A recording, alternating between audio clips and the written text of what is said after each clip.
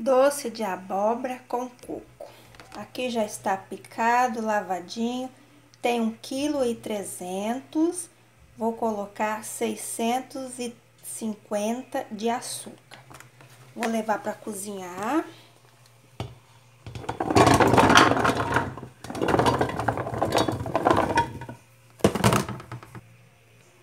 Coloquei só um pouco de água. Agora vou fechar a panela de pressão vai cozinhar mais ou menos de 5 a 7 minutos. Corrido, escorrido, acertar. Acertado. Açúcar. Levar para cozinhar. É só mexer.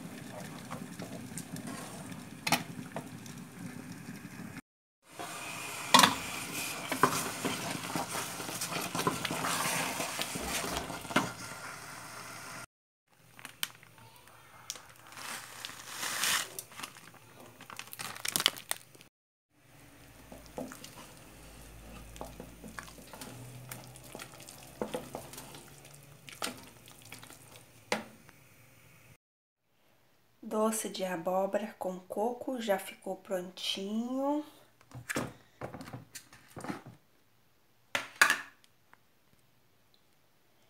Deu esses dois potes de vidro. Deu dois desse, um eu comi para experimentar. Ó. Ficou gostoso no ponto de açúcar. Não ficou muito doce, nem faltando açúcar. Daí eu coloquei um pacote de 100 gramas de, de coco ralado. Coloca o coco que quiser. Eu coloquei isso aqui, ó. Flocos de coco úmido e adoçado. Queria ser açúcar, mas não tinha. Aí cozinhei, demorou um pouquinho, ele pipocou bastante. Eu fiquei com a panela tampada, daí fui abrindo aos poucos e fui mexendo com a colher de pau. Então, foi 1,3 kg de abóbora cozida, 650 de açúcar.